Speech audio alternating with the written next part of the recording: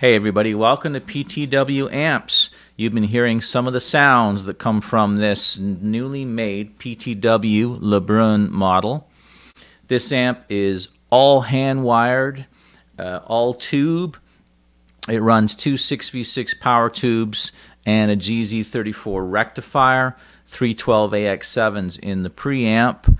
Uh, it's got Hammond transformers and the uh, optional cabinet um, contains a WGS Invader 50 speaker. Uh, it's a dovetail pine case covered in brown nubtex and uh, wheat cloth. So this amp is inspired by the 6G3 model of the early 1960s. Um, the often overlooked, somewhat overlooked brown amps of the early 1960s were kind of a transition between the tweed amps of the 50s um, and the later kind of clean mid scoop amps that we associate more with the 1960s. Um, this amp has more of a kind of pronounced mid uh, mid range tone, a little bit more like a tweed. Breaks up pretty nicely, I think, as you could hear. Um, so there's two channels: the normal and bright tremolo. Tremolo runs on both channels.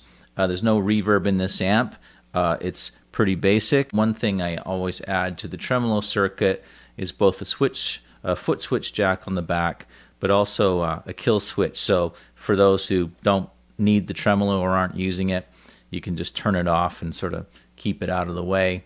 For more about the amps that I build and the amps I restore, please subscribe PTW Amps on YouTube, and you can find PTW Amps if you search me on Facebook. Thanks a lot for watching.